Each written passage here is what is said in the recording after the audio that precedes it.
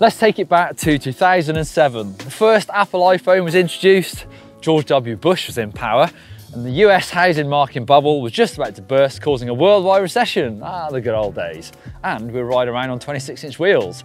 That's 2007 Giant Anthem. Fast forward to the present day, we've got Donald Trump, we've got the iPhone X, and we've got Bitcoin. What a time to be alive. And look, we've got bigger wheels as well. So this is the 2018 Giant Anthem. We've been invited by partners at Giant to check out the new bike and I want to see just how far we've come in the last 11 years. Please don't let me down, Giant.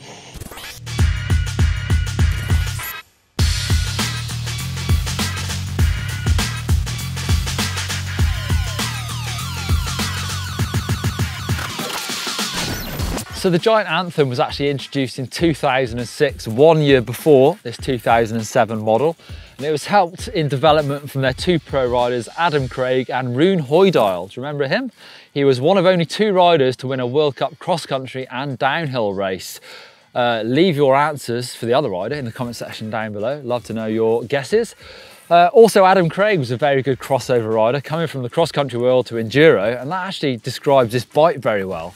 It was a bit of a pioneer back in the days for being one of the very first full suspension cross-country bikes. So the Anthem was introduced with this Maestro suspension design that had already been on the longer travel bikes, the Trance and the Reign since 2004.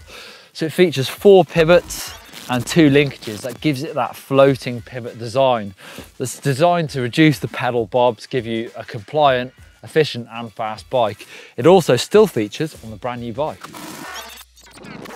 So what was cutting edge technology back in 2007? Well, you get this fluid formed aluminium frame. See those sort of funky profiles of those tubes made by high pressure water. It's actually anodized rather than painted to save weight. It only weighed 5.3 pounds this frame, so super light back in the day. Uh, you've got that integrated headset that I think looks really up to date to be fair got 27 gears, so you've got three chainrings up front and what looks like a really small ratio cassette by modern standards now on the back. It's got 26 inch wheels, which I think now look really old fashioned. Also quick releases front and rear. Look pretty scary to me nowadays.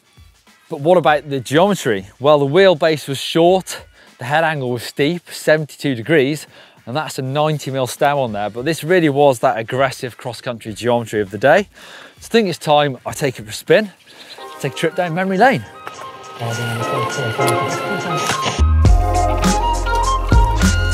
God bless you all.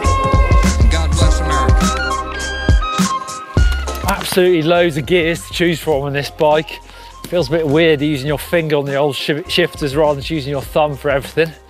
Also that front mech doesn't shift that well, but loads of gears.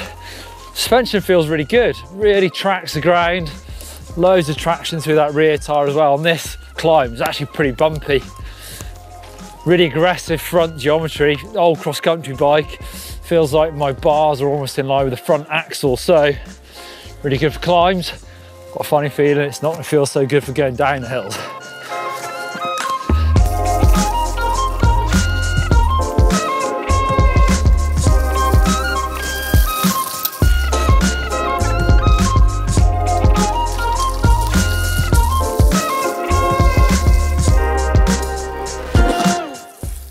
That was fun, but I think it's time for the modern bike.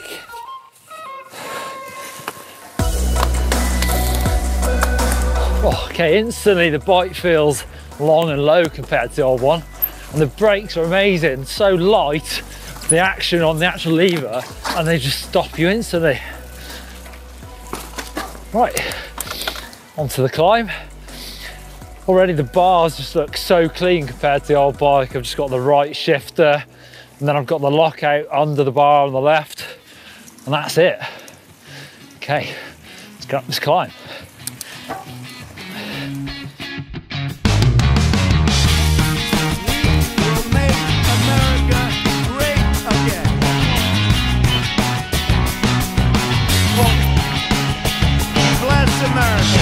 So just take a look at the 2018 bike. It looks just so much more modern.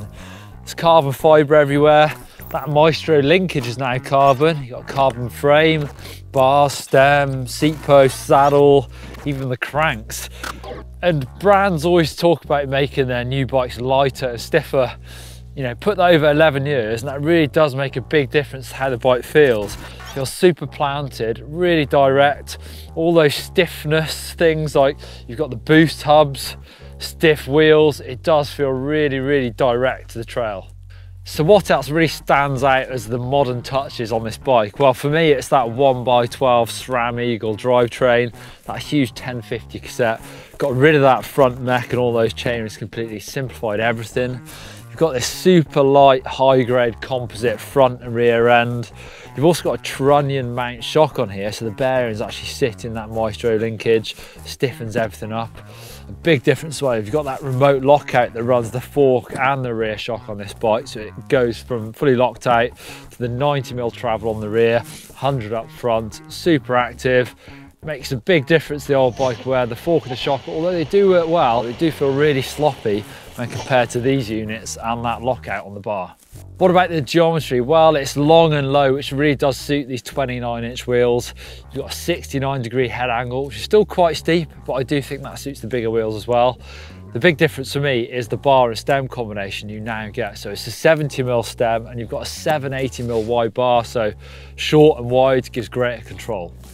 We've got a tapered head tube on the front of this bike, so one and one half inches to one and one eighth at the top. I've talked about this already, but that boost spacing together with that bolt through makes a big difference. You've got a wider fork and rear end on this bike, plus the bolt through. I find it really hard now to look back at the QRs and think that was a better idea. Obviously the bolt through is so much stiffer and it's just easy to take your wheels out. I've got carbon rims on this bike as well, it makes a big difference when we're talking about the big wheels, so 29 inch wheels. Carbon rims are super stiff but also you've got that 27 mil width on them, so it gives you a nice profile on that tyre. The bike is tubeless, which is pretty much standard nowadays, but does make a big difference when we're talking about 29 inch wheels, reducing that rotating mass feels great. It's also really oversized, this part of the frame down by the BB. It's got a 92 mil bottom bracket in there, lots of carbon going around here, really just to reduce those pedaling forces and any flex in the bike. But also, you can ride these cross-country bikes so aggressively now, you need a bike that is nice and stiff.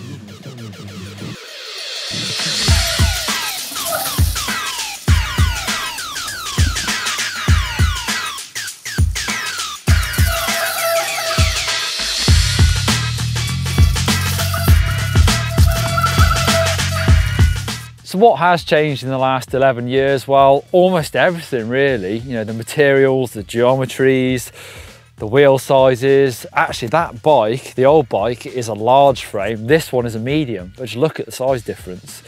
Um, going back to the old bike, actually, it's a credit to its former owner. It's absolutely immaculate. Everything works really well on this bike. If this was my only bike now, I'd be happy enough. It rides fine.